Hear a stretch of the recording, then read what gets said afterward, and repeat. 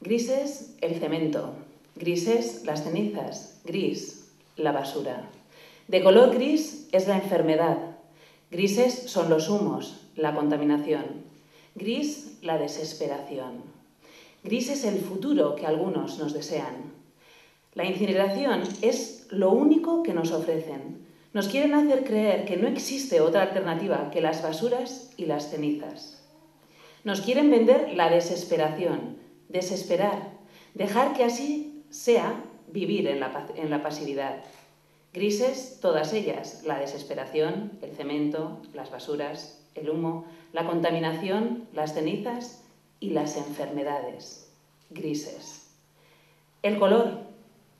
Ante la desesperación reclamamos futuro, el colorido de la vida, la armonía con la naturaleza, racionalidad y constancia, los materiales no son basura.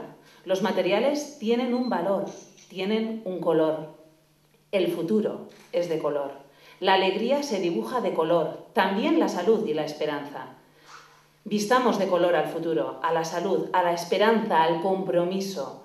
Hay por venir, pues creemos en el futuro. Los y las deportistas están habituados a superar obstáculos, por lo tanto, saben bien que no es fácil lograr los objetivos, que para ello es imprescindible perseverar.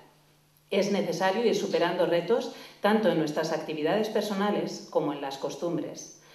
Los tratamientos tóxicos, tal como la incineración, amenazan nuestra calidad de vida y de los que nos rodean, perjudicando nuestra salud y nuestro medio ambiente. En la base de los argumentos de los que apoyan la incineración se encuentran la incapacidad, Primero, según ellos, era imposible reciclar en un alto nivel. Segundo, en el supuesto de conseguir tales altos niveles de reciclaje, siempre habría algo no reciclable. La incapacidad y la desesperanza persiste en ellos, pero es otra la realidad. Quien no se esfuerza no logrará los objetivos. Los guipuzcoanos debemos formar un único equipo para este partido a favor de un mañana esperanzador y multicolor donde prime la salud y el bienestar. Entre todos lo conseguiremos. La cultura y la creatividad se hacen necesarias para el desarrollo, así como necesario es avanzar. No nos podemos cobijar en la desesperanza. Ya sabe de eso quien ha cultivado la cultura, pero difícilmente la encontrará quien no la busque. Todo tiene solución. Pero ¿cómo encontrarla si no la buscamos? No llegará por sí sola. La cultura y la creatividad son pilares del futuro. En nuestras manos está ese futuro.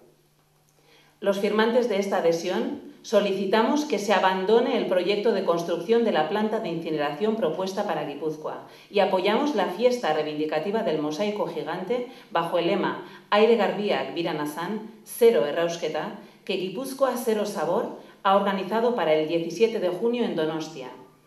Rechacemos el futuro gris que se basa en la resignación y el pesimismo y hagamos todo lo que esté a nuestro alcance para que nuestros hijos, sobrinos y nietos tengan el mejor y más colorido futuro que se merecen.